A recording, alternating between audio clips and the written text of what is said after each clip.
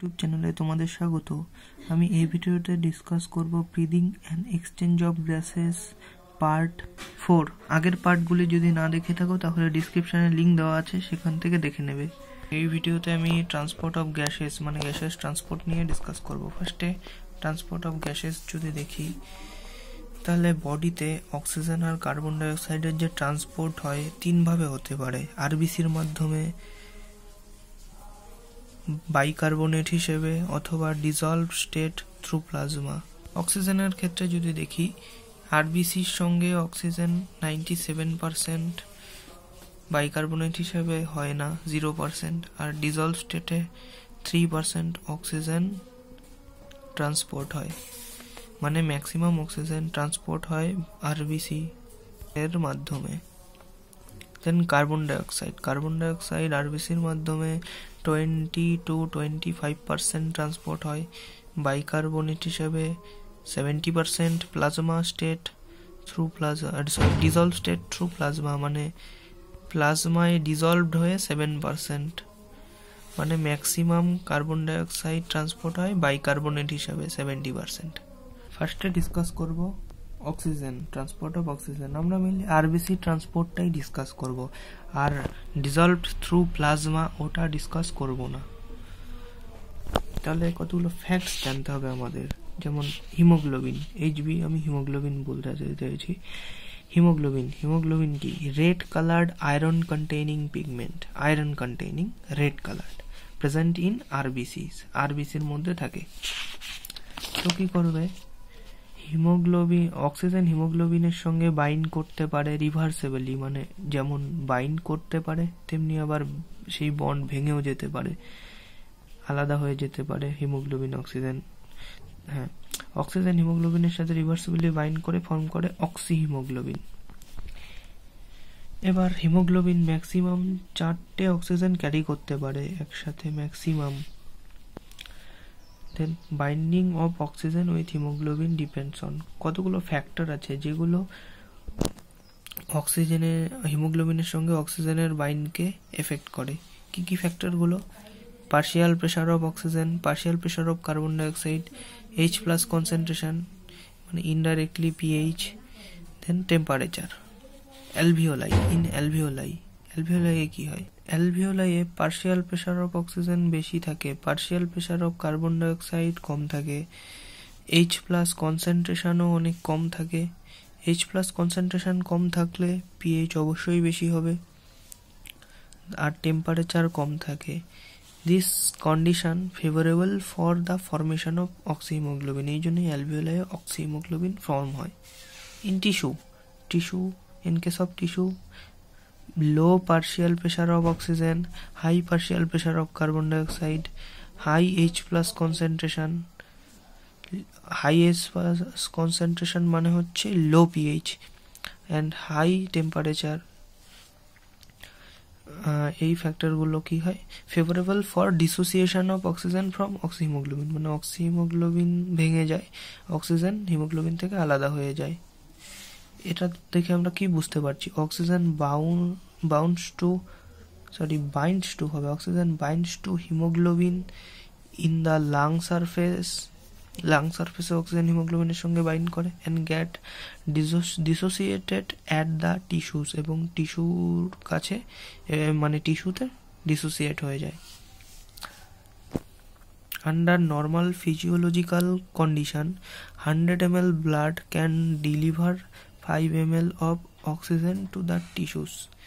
মানে normal physiological কন্ডিশনে hundred M L blood five M L oxygen টিস্যুকে deliver করতে পারে মানে আমরা যদি এখানে দেখি এই ক্যাপিলারিতে এই ভেনাস এন্ডে অক্সিজেনের concentration fourteen M L per hundred M L blood আর আর্টারিয়াল এন্ডে অক্সিজেনের সরি এটা আর্টারিয়াল এন্ড এটা ভেনাস এন্ড কারণ এটা পালমোনারি যাই হোক এই ভেনাস এন্ডে অক্সিজেনের concentration nineteen M L per hundred M L of blood তো এই যে five M L blood per hundred M L of blood যে সাপ্লাই হয়, এটা এখানে সাপ্লাই হয়। একইভাবে টিস্যুতে এখানে অক্সিজেনের অক্সিজেনের concentration nineteen M L of oxygen per hundred M L of oxygen এখান থেকে five M L of oxygen per hundred M L of blood supply করে। আর এখানে অবশিষ্ট থেকে যায় fourteen M L of oxygen per hundred M L of blood next আমরা যদি percentage of saturation with oxygen percentage of haemoglobin saturation with অক্সিজেনের সাথে partial press partial pressure of oxygen একটা যদি গ্রাফ ড্র করি, তাহলে গ্রাফটা অনেকটা সিগময়ের শেপের হয়। একে বলে oxygen dissociation curve partial pressure of oxygen in M mmHg ঠিক আছে?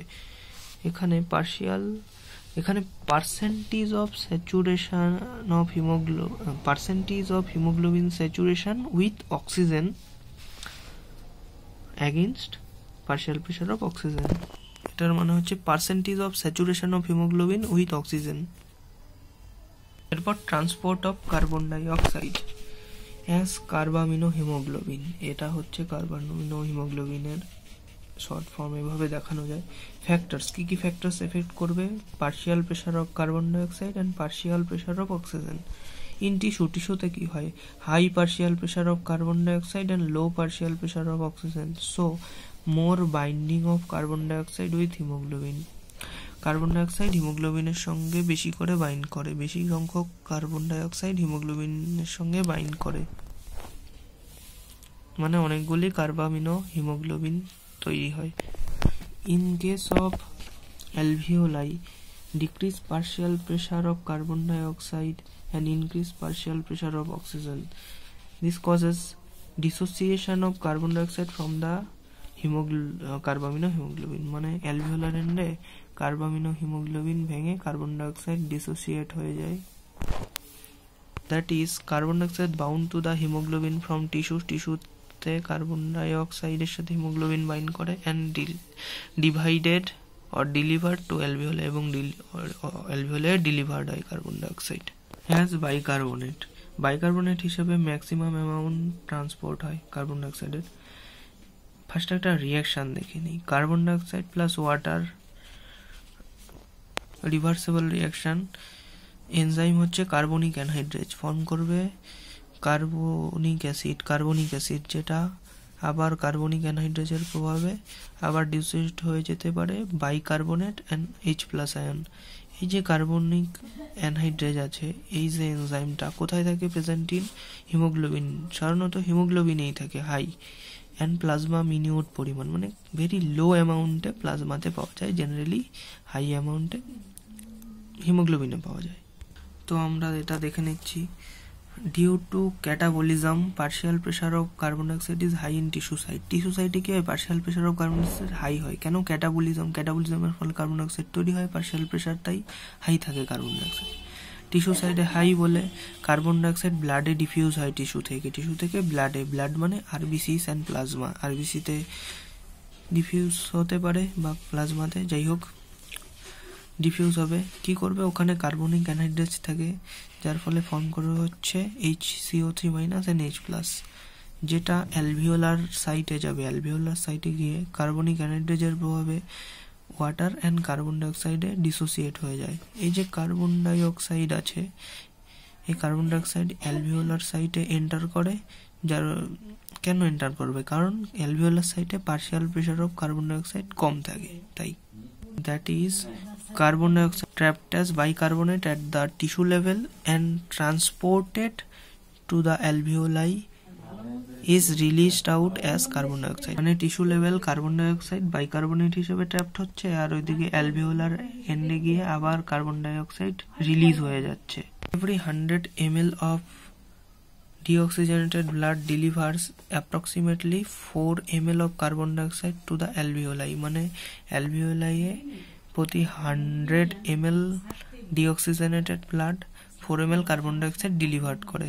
মানে এখানে পালমোনারি যে আর্টারি থাকে, এখানে কার্বন ডাইঅক্সাইডের কনসেন্ট্রেশন যেটা থাকে, আর এখানে যেটা কার্বন ডাইঅক্সাইডের কনসেন্ট্রেশন থাকে, এখান থেকে ফোর এম কার্বন ডাইঅক্সাইড এখানে চলে যায় অ্যালভিওলার ক্যাভিটিতে তো এখানে ফোর এম এল কম থাকে কার্বন ডাইঅক্সাইডের কনসেন্ট্রেশন লাস্ট পার্ট হচ্ছে carbon monoxide poisoning haemoglobin carbon মনোক্সাইডের সাথে বাইন্ড করে ফর্ম করে কার্বক্সি হিমোগ্লোবিন এটা মনে রাখার যে হিমোগ্লোবিন কার্বন মনোক্সাইডের সঙ্গে বাইন্ড করে করে কার্বক্সি আর হিমোগ্লোবিন কার্বন ডাইঅক্সাইডের সঙ্গে বাইন্ড করে করে কার্বামিনো।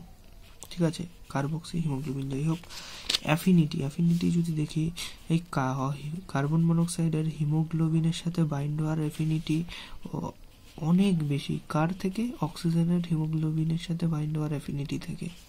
তো এটা ফর্ম হওয়ার অ্যাফিনিটি এটার থেকে অনেক বেশি ভ্যালুটা আমার এনসিআরটির ভ্যালুটা মনে নেই, কোনো একটা চ্যাপ্টারে দেওয়া আছে। অন্যান্য বইয়ে যেমন কোথাও হান্ড্রেড ফিফটি দেওয়া, কোথাও টু হান্ড্রেড দেওয়া, এরকম, যাই হোক। এর ফলে কি হচ্ছে? অক্সিজেনের মানে হিমোগ্লোবিনগুলো কার্বন মনোক্সাইডের সঙ্গে বাইন্ড করে যাচ্ছে, ফলে অক্সিজেনের সঙ্গে বাইন্ড করতে পারছে না, অক্সিজেন টিস্যুতে পৌঁছাতে পারছে না মানে decrease availability of oxygen to the tissue video ভালো লেগে থাকলে লাইক করবে সাবস্ক্রাইব করবে ধন্যবাদ।